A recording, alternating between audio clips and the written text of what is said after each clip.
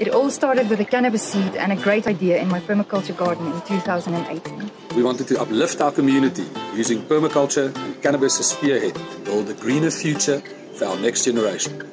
We believe in caring for the people, world, nature, and the earth, with Africa leading the way. So we started a small business called Grow One Africa.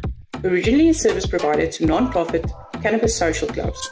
Providing first to market, trailblazing technology to help track and trace members' cannabis from seed to oil. To ensure that members are aware of their current and ongoing regulatory developments and their respective rights. To ensure that all cannabis products are tested, are safe, and are managed responsibly. Our trailblazing technology enables community connection.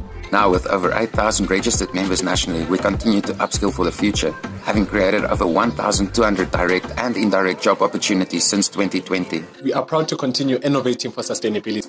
With a full range of locally designed and manufactured processing tools and machines. We are ready to convert our waste into sustainable green landscapes. Building and healing our nation. With every step we take. Every tree we plant. With every brick we lay. We are growing a greener future for all.